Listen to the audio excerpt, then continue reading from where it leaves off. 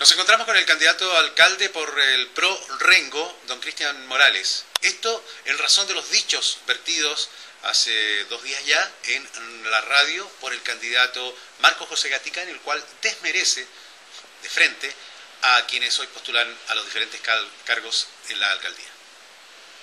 Quiero felicitar a Marco José Gatica por sus dichos, porque realmente sé a quienes nos enfrentamos. Esto nos abre, nos abre un libro saber cómo se mide la altura. No en centímetros marcos, se mide corazón, gestión, hechos, no palabras. Es por eso que este 28 de octubre invito a toda la comuna, a Rengo, en general, a que propongamos un cambio. Lo han hecho tan bien, según usted, don Marco José, junto a su padre, que si fuera tan bueno, votaría yo por ustedes. Lastimosamente, las cosas no se ven como se han pintado. Pido simplemente este 28 apoyen Eva Saraf, Daniel Arias. Justamente nos encontramos con la señora Eva Saraf, candidata a concejal por la comuna, también por el PRO. ¿Qué opinión merecen los dichos del candidato Marco José Gatica? Bueno, buenos días a, todas las mujeres de Rengo.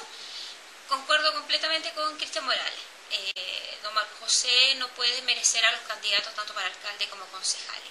Yo creo que cada uno de los que está ahora en campaña es porque tiene la fuerza y la convicción de querer hacer algo positivo en la comuna. En nuestro caso, les puedo decir que tenemos la convicción, el carácter, la energía y la fuerza para llevar a cabo un proyecto alcaldicio en el cual hemos puesto todos nuestros intereses, principios, valores y también aparte un diagnóstico que hemos realizado en la comuna. Por lo tanto, hacemos un llamado el, el 28 de octubre en las urnas para que reflexionen y muy, pero muy en conciencia se den cuenta que la lista C y sus candidatos son la opción para que Rengo crezca porque Rengo se merece mucho más. Y también la opinión de don Daniel, Daniel Arias, candidato, joven candidato a concejal por la comuna.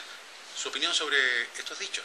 Bueno, como tú lo dices, obviamente un joven de la comuna, joven, trabajador, dirigente sindical, técnico agrícola de profesión. Eh, como trabajador de la comuna me siento eh, complicado en, este sentido, ya que que no consideren mis capacidades, que no piensen que, puedo hacerlo mejor, es complicado. Ahora, yo creo que tengo la fuerza, tengo la juventud, tengo las ganas, tengo el entusiasmo y creo que junto con mi compañero de lista, más nuestro candidato alcalde, vamos a dar la sorpresa este 28 de octubre.